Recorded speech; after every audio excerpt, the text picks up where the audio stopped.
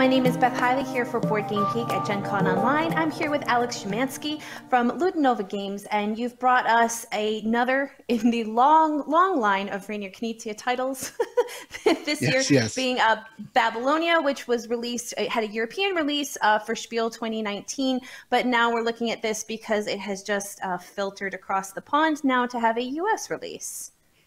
Mm-hmm.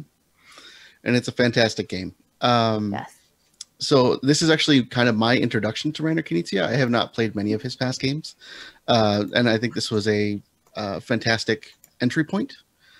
Um, but it's a I don't know it, it, it's a fairly easy game to get off the shelf and just play. Um, we, my wife and I, since we're home together, uh, we're able to learn it fairly quickly and easily. I think that's pretty much his style aesthetic in this sentence. yeah, yeah, very much so. well, let's take a look specifically with Babylonia, uh, what people are trying to accomplish, and then maybe uh, we'll even try playing a round or two and just getting the feel for what a turn feels like. That sounds great. Um, so Babylonia, at its at its heart, is a tile placement game uh, for two to four players, kind of based in the Tigris and Euphrates kind of area uh, of of well, Babylonia. It actually does take place between the Tigris and the Euphrates on the board, which is kind of a, a neat little nod back. Um, yeah, to, there we go. to Tigris and Euphrates. Um, so the point of, the, of this game is that you and your clan are trying to kind of put your influence across the board uh, and influence these cities to kind of um, to make them them yours and uh, and these ziggurats to make them yours, and also uh, in the end just whoever has the most points is going to be the winner. Down and dirty, kind of simple explanation of it. um, and it has some excellent wooden bits. That's one part I do love about this game. Uh, is the the little pieces are, I think the ziggurats are nice little 3D pieces, and all the um, all the wooden pieces have great little kind of silk screened images images on them, and they all feel yeah. really high quality. It's it's I love it. well, I'm one of those people that Sorry. Oh, go ahead. when I was saying I was when you're doing those... the. we did it again. You go. uh, I'm one of those people that really, um, really likes really high quality components. Like that really gets me right in the heart for a game. But yeah. Yeah, I was saying that the I I also really enjoy that with those wooden bits, the silk screening is so clear that from a distance it's very you can instantly see what each of the symbols are, which we're going to talk about in a moment. And you can also see that Nikki is uh, demonstrating that you've provided this nice little rack because you are drawing a certain amount of these chips from a face down pool. And so that's a way that you can kind of see uh, in a nice, easy way uh, which tiles you have available coming up for your turn. Yeah. Um, so in the board or uh, when you're starting the game um, you're going to be setting up depending on how many players play the game. This is one thing i love about things like small world how they include kind of different boards for you to play with depending on how many players you're playing. But like two players only uses the north and the center part and like the yeah. if you do three players it's the south and the center part and then it's four players just uses the whole map. Um, once again using really the rivers as a way to add something to the game in this case the appropriate size board it's excellent. I, I, think it changes the way that the game plays uh, so well for such a minute difference of adding up or subtracting a player. Yeah. Um, so when we start, we're going to be um, placing out all of the city tiles, which have the little blue uh, logo or uh, icons in the center, um, and then uh, all of the farm tiles as well, which are the green tiles that either have a number on them or a little blue square at the bottom to indicate um, how it scores eventually, and we'll go over that eventually. Um, but you're going to be replacing those two uh, types of tiles randomly. Um, so your makeup of cities and farms are going to change from game to game, which is is kind of neat. I mean, I know in the game that we played, uh, my wife and I, um, we had a, a very large concentration of like of farms that you didn't want to touch early game in like one spot. So like all of our gameplay was either in the north or the very south. We had nothing in the center for a little bit. It just, but it's nice to see that that um, the, the game can play uh, can change uh, depending on how you set it up. I, we really like that a lot. Um, but uh, so then you're going to be placing the ziggurats on the uh, blue spaces indicated. Those will never change. Those will never move um, from game to game. And I think that's it's probably something with the design, I'm sure.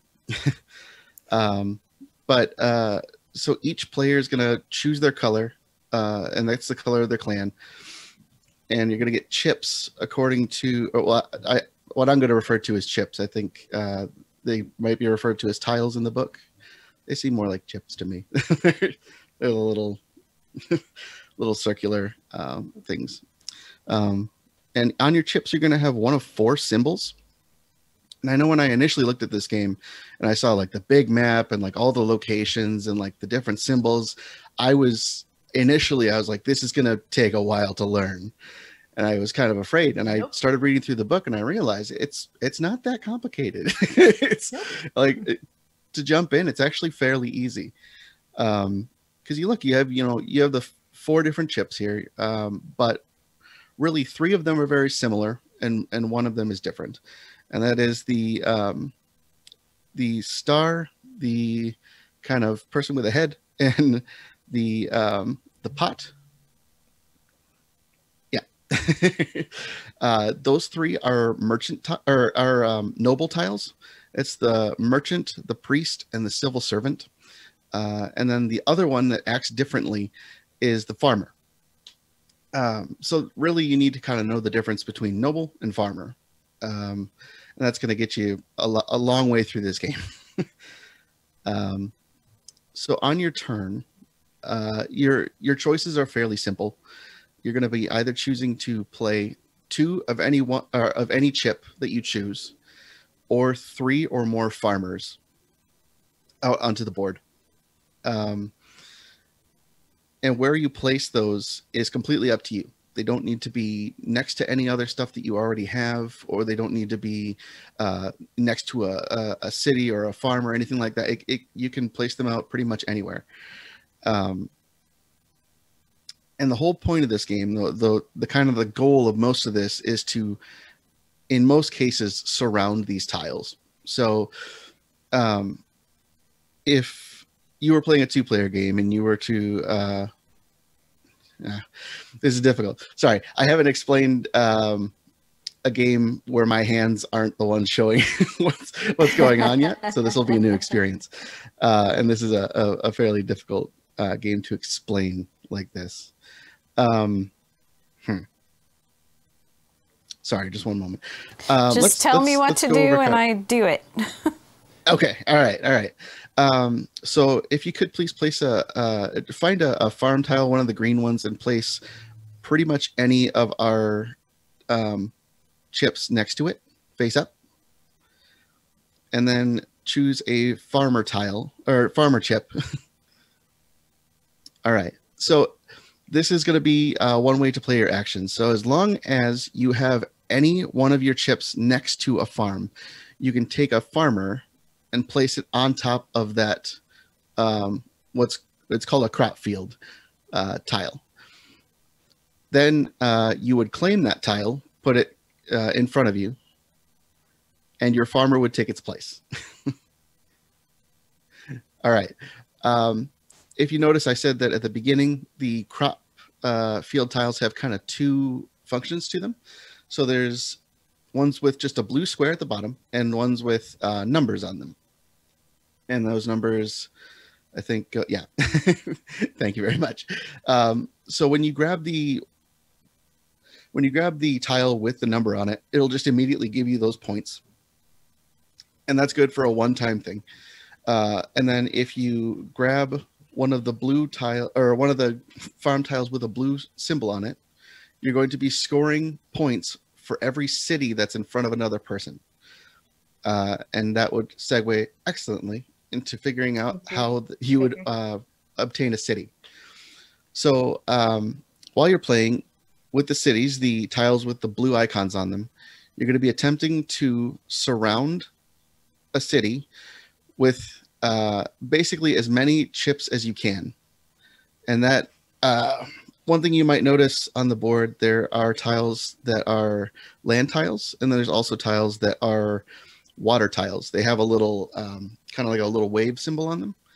Um, the water tiles are not necessary to uh, to place a chip on in order to surround the city. But once a city is surrounded, um, you're going to score points. Yeah, let's. Can we get um, around that city? Can I get uh, four of the tan and like the others of like a different color? Yeah, that's excellent. Thank you so much. okay, so uh, and then also could uh, could you do me one over the favor and um, take two of the tan chips and then just put them on the um, put them on two of the spaces, kind of to the what would be the south. I mean, two two additional ones. Sorry. yeah, it's almost like we're making a little chain. If you've uh, familiar with one of Knizia other titles, Through the Desert, like sort of forming these little, uh, you know, snaky lines would be a familiar concept to some people. From what I understand, it's it's a it's kind of like a, a mixing of three of his previous games. Um, yes. Sadly, I, I, haven't had much experience with them, but it, it, from what I like from what it's been told to me, it makes a lot of sense. um, so when we're scoring, you notice that that city has two icons on it. Um, so any icon or so any chip around it that has any one of those two icons, and then any chip that is also connected to any of the chips around the city. So like all of the tan that I can form a line to. Uh, if they would also have the same icon, they would also score me points for that.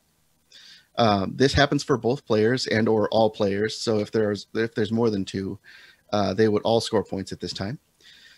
Um, and the only difference uh, is if you notice the brown or the tan has majority right now, so they would get to take the city and put it in front of them.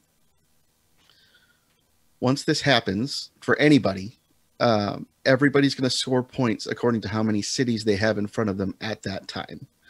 So the more cities you have, the more uh, points you're going to score over time.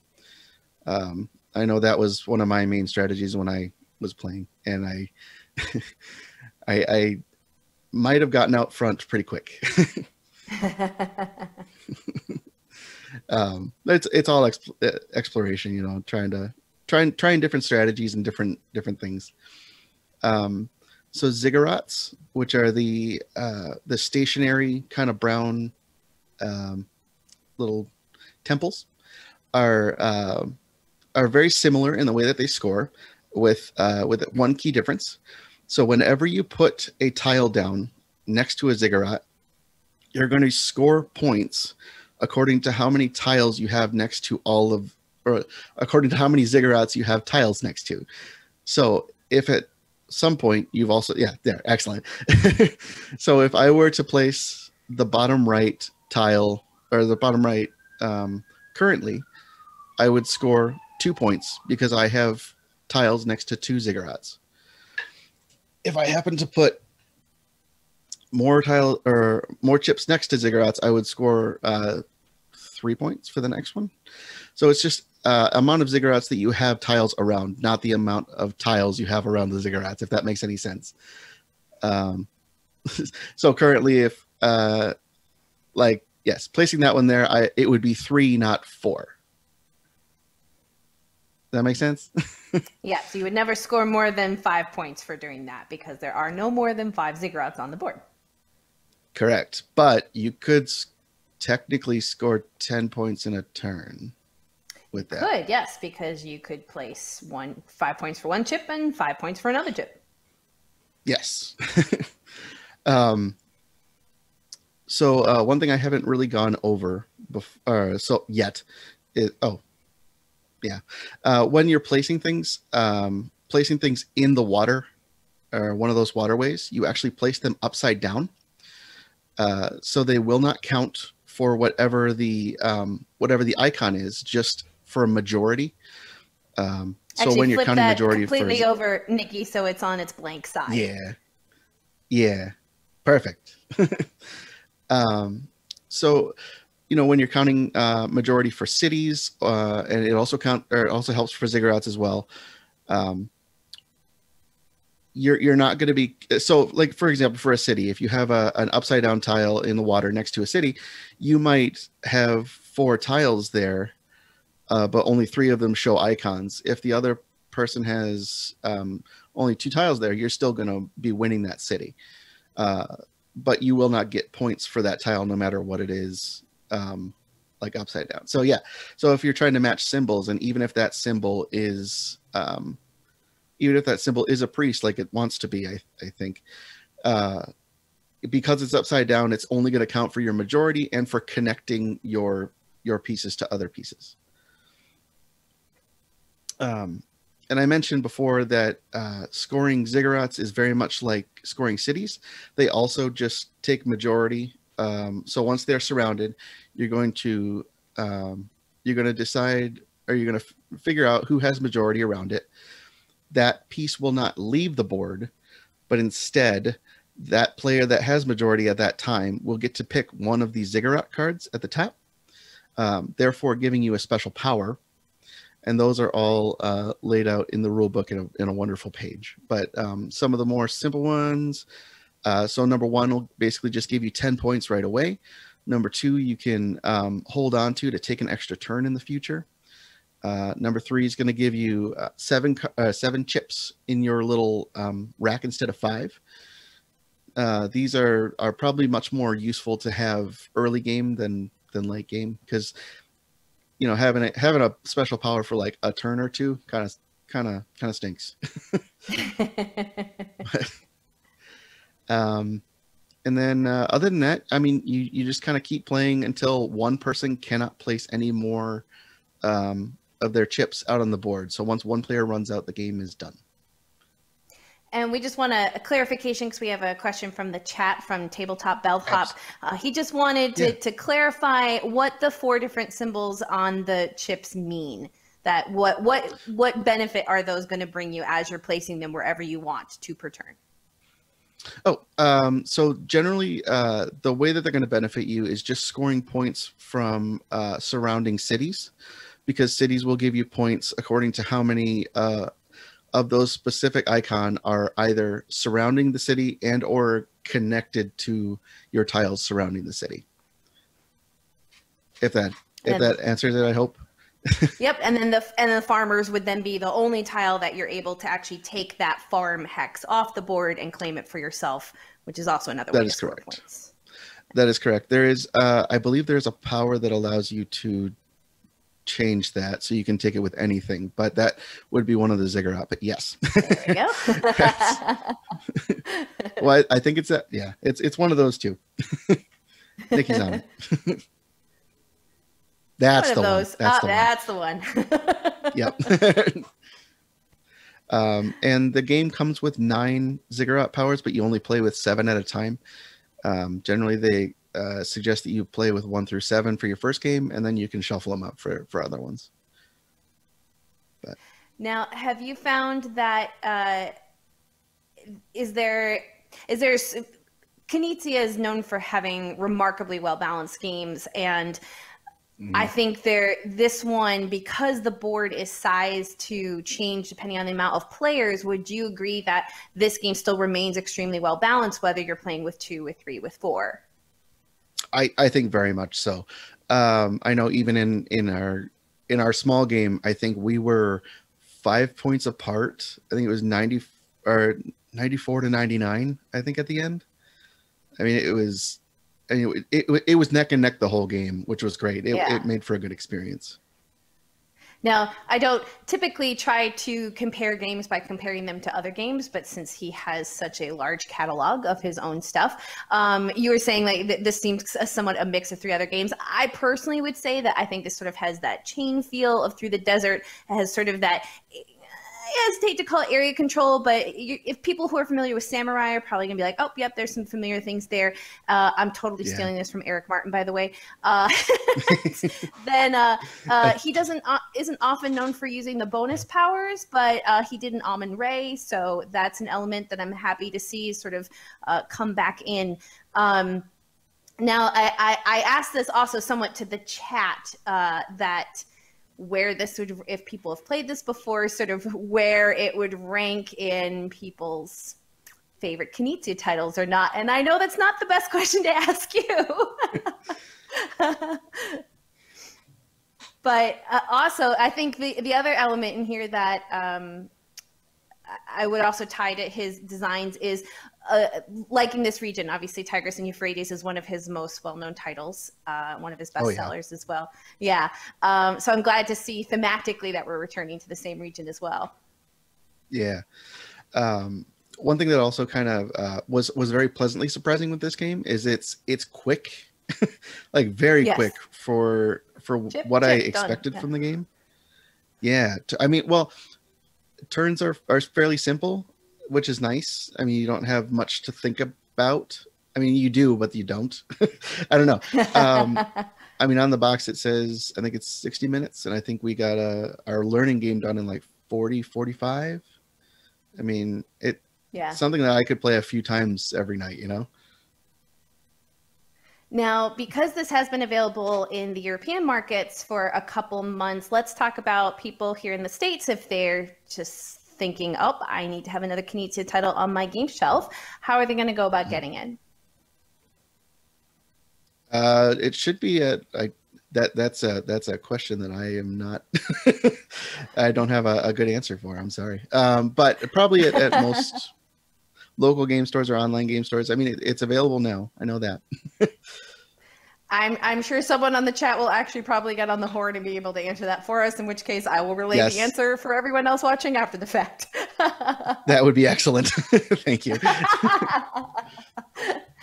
Um, Alex, is there anything else uh, on behalf of if if you happen to know any information from Ludonova, if anything else that they have planned coming out for 2020, or anything else that you wanted to share about Babylonia in specific? Um, I mean, I will say so. I, I I've been talking about playing this with my wife, and she plays not everything that's like super heavy and and mm-hmm. this one she got into pretty much no problem like and and was looking forward to playing it again. And that's always a good sign for me. Uh it's something that i can definitely keep on the shelf and and play in the future. So i think that's if that's not a sign for somebody else, that's at least a sign for me. so. Yeah. well, uh, thank you, chat. If you guys are interested in buying this, it's available on Amazon for fifty dollars. So thank you for whoever just did a quick research Google on that one. Appreciate it. Um, and Alex, I appreciate you giving us some uh, generous time to take us through a couple of turns of what it might feel like to play uh, Babylonia. And thank you again.